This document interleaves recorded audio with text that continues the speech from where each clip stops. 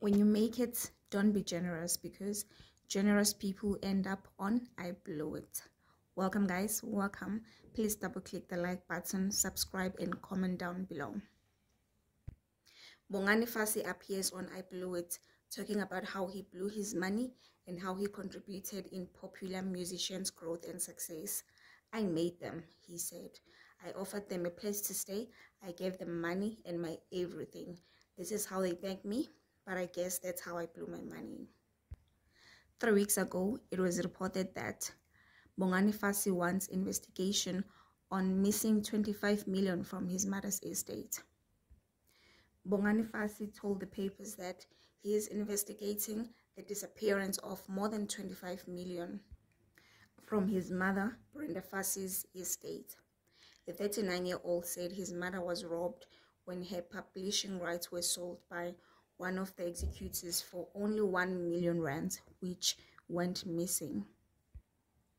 Fassie could not be drawn to comment on the matter, choosing only to say the embezzlement of his mother's money dates as far back as 2004. I kindly suggest you follow the look at all the way back to 2004 when Marbury passed. Please apply yourself and investigate this matter before we proceed, he said. This is not the first time that Fassie has accused those who handed over his mother's estate of having cheated on her. Last year, former music manager Lane slapped Fassie with a 66 million defamation suit after accusing him of spreading intentional falsehood against him.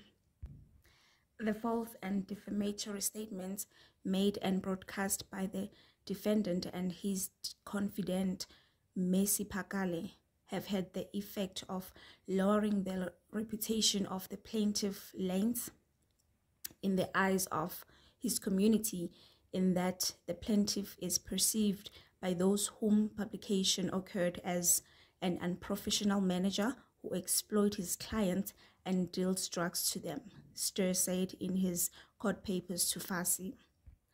The former Jozi Group member told the publication his mother's estate was concluded in 2017 and her husband at the time, Nhlanhla should have been the beneficiary that, as they had entered into a civil marriage. The late singer died a few months before she turned 40 due to respiratory and cardiothoracic challenges. It was reported that post-mortem also showed Fassie had overdosed on cocaine prior to falling into a coma from which she would never recover. It was also reported that former music lawyer Graham Gilfillan, who passed away last week, had initiated an order for the former Brenda Fassie music manager to pay 3 million into Fassie's estate following a lawsuit filed by the estate's executor in which Gilfillan served as the business investigator. Meanwhile, music producer Chicco Twala has alleged that Gilfillan had been receiving 50,000 per month from the estate while Bongani received no support and was homeless. And that's the news for now, guys. Please remember to double click the like button, subscribe, and comment down below. I'll see you soon on the next one. Cheers.